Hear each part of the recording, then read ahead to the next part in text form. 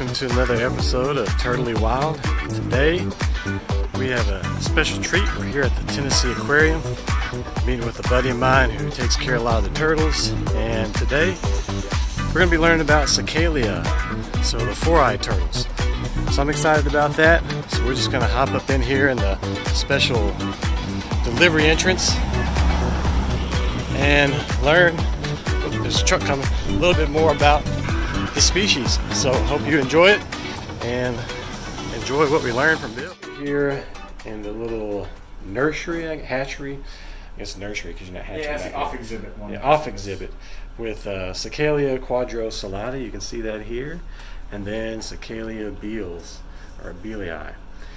All right. Do you want to just explain real quick what these numbers mean? Is that Oh, okay, yeah, that's that's pretty easy. So, all of our reptiles, their ID numbers start with an R for reptile. So that's pretty Okay. that's pretty easy. Then next two digits are the year, and then the last three digits are the number we accession them. So. Uh, the most important thing to get out of this is that this animal arrived here in 2020. 2020? Okay. but that also means that um, it hatched here. You know, If- Okay. if we if we had gotten an adult quad from another institution that got here like before like the next one or something, it would also have an R twenty number. Okay. It's like any, anything that shows up on R twenty, birth or Oh, accession okay. other way.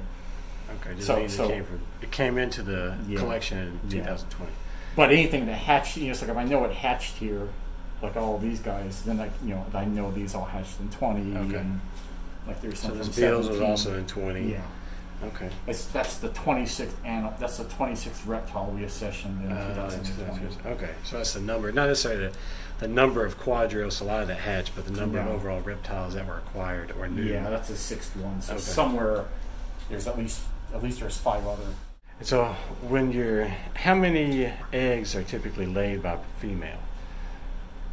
I think a the most I've ever gotten is four, but four seems Four? Four seems acceptable. In one clutch? Yeah. Wow. Okay, that's a I'd say lot. one to three. One to three.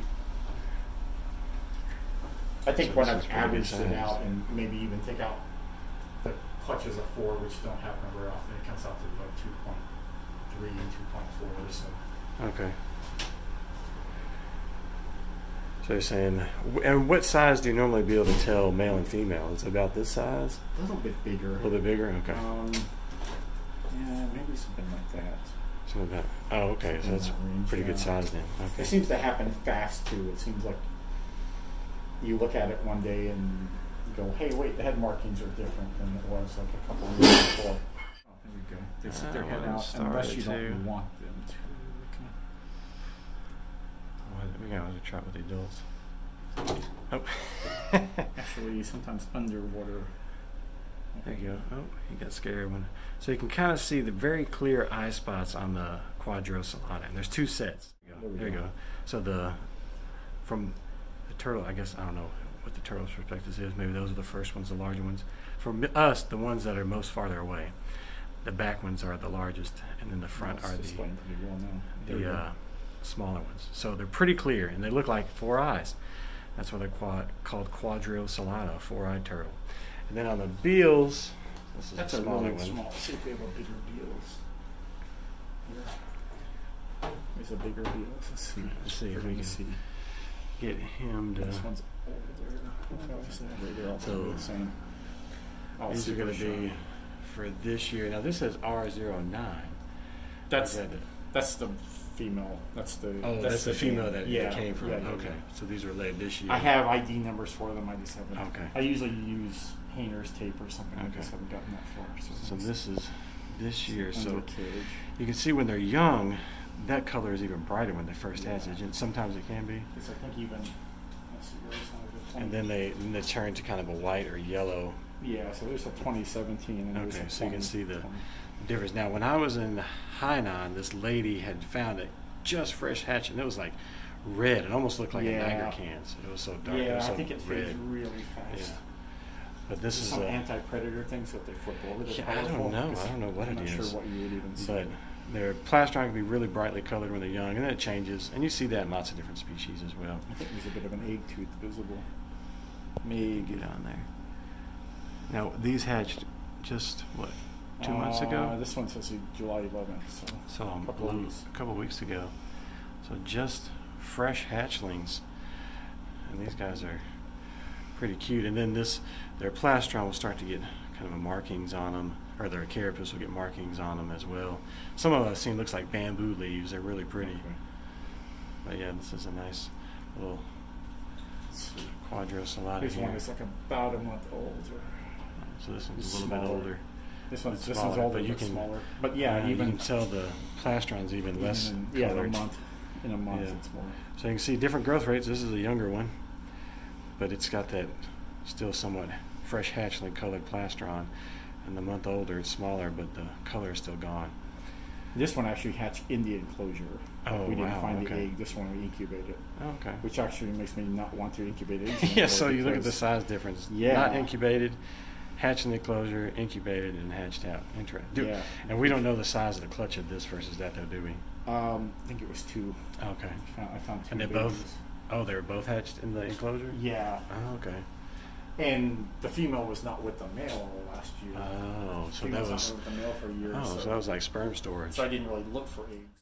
So two species, genetically very distinct, morphologically very similar, except for that head pattern. And hopefully, with the adults, we can see that head pattern a little more clearly.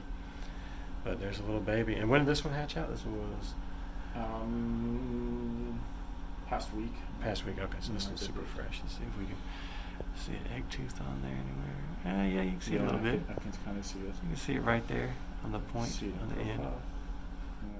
So we're gonna. We had these water turned off so we could kind of hear well, but we're gonna turn it back on. Talk about this for just a minute. All right. So why why do you have this water constantly flowing? What's It's the, actually on filtration, so Oh, it's on filtration. clean. Everything comes Okay. down to a sump, okay? and then So there's, it a, there's a Comes out of the pipe, Yeah. runs in through this little drain. Every, everything come, comes down to here to this okay, and it comes over here. And, and then Gets this filtered. filtration is not on anymore, but there, there's a sock, so that's that's Okay. kind of That's like the filtration. Okay. coarse filter. okay. And so it just comes down and filters and then cycles it back through. I can, I can feed them two or three times a week, and it stays pretty clean. It stays pretty clean? Change out the sock on. And what what are you feeding them when they're this size? Mostly pelleted foods. Okay. Um, I think right now you just keep you can keep ReptoMin in here, but then like you also feed Nasco and Mazuri favorite food. So when they're smaller, it's basically just a already covered Yeah. Diet. I